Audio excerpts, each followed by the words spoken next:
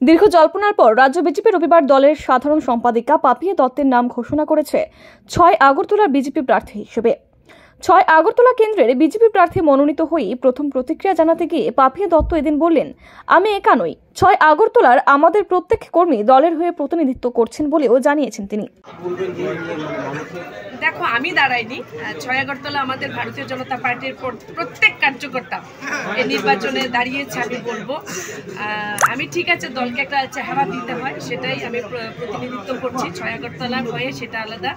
আর দলের আমাদের যিনি সর্বভারতীয়, আমার সভাপতি আছেন আদরণীয় জেপি নাড্ডাজি ভারতবর্ষের যশস্বী প্রধানমন্ত্রী নরেন্দ্র মোদীজি থেকে শুরু করে আমাদের রাজ্যের মাননীয় মুখ্যমন্ত্রী প্রফেসর ডক্টর মানিক মহোদয়, আমার প্রদেশ সভাপতি, যারা আমাদের নেতৃত্ব আছেন, আমাদের প্রাক্তন মুখ্যমন্ত্রী, প্রত্যেককে আমি আজকের এই জায়গা থেকে আমি আমি তাদেরকে আমি প্রণাম করছি এবং তারা আমার প্রতি এত বিশ্বাস, আস্থা রেখেছেন।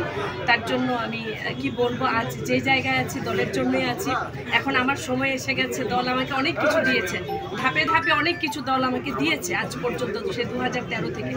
আজ আমার মনে হয় অনেকটা সময় এসে গেছে দলকেও কিছু দেওয়ার এবং মানুষকেও কিছু দেওয়ার ছয় আগরতলা আমরা নিশ্চিতভাবে জিতব যাদের কাছে এত আমাদের প্রেসিডেন্ট আছে, আমাদের এত পৃষ্ঠা প্রমুখ আছে, ছয় আগরতলা আমাদের প্রত্যেক মণ্ডল সভাপতি আছেন, আমাদের হিরালন্দা পুরো সম্পূর্ণ মণ্ডল কমিটি, আমাদের সাত সাত মোর্চা, মহিলা মোর্চা, যুব মোর্চা, প্রত্যেকে আমরা একসাথে মিলে আমরা।